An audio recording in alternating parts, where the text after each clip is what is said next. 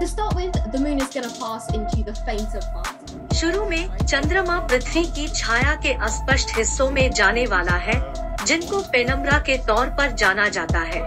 इसलिए हम ग्रहण के इस हिस्से को एक पेनम्ब्रल ग्रहण कहते हैं। आखिरकार यह पृथ्वी की पूर्ण छाया के पीछे से गुजरना शुरू कर देगा और हम एक आंशिक ग्रहण देखना शुरू करेंगे जहाँ एक बहुत ज़्यादा गहरी छाया आने लगेगी। जो पेनम्ब्रल छाया की तुलना में बहुत ज़्यादा ध्यान देने योग्य होगी। आखिरकार चीज़ें बिल्कुल पहले की तरह हो जाएँगी।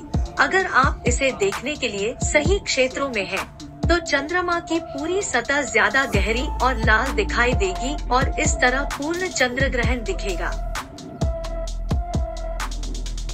इसे देखने के लिए सबसे अच्छी जगह एशिया के पूर्व में होगी। इसलिए विशेष रूप से रूस जापान में अच्छा नज़ारा दिखेगा। न्यूजीलैंड में भी बहुत अच्छा दृश्य दिखेगा। कनाडा के बड़े हिस्से में लोग इसे अच्छी तरह से देख पाएँगे, साथ ही पश्चिमी अमेरिका में भी। चंद्र ग्रहणों को देखना बहुत आसान होता है, इसलिए आपको किसी खास उपकरण की ज़रूरत नहीं है। अगर आप दूरबीन का इस्तेमाल करते हैं तो आपको थोड़ा बेहतर दृश्य मिलेगा। लेकिन आपको नंगी आँखों से भी एक बहुत ही शानदार दृश्य दिखेगा। एक सवाल है कि चंद्रमा लाल रंग का कैसे हो जाता है?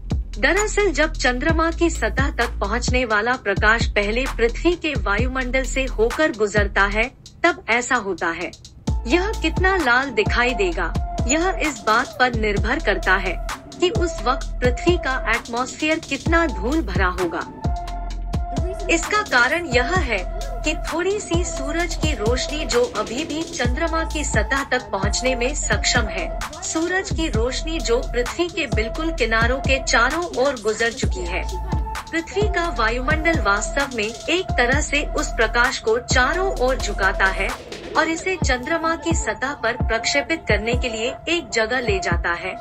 जैसे कि आप पानी के एक गिलास के माध्यम से देखते हैं और आप देख सकते हैं। कि इसके पीछे की पृष्ठभूमि थोड़ी सी शिफ्ट हो जाती है sunrise. So it's that same reddish colors that we see at those times of the day that will reach the moon's surface.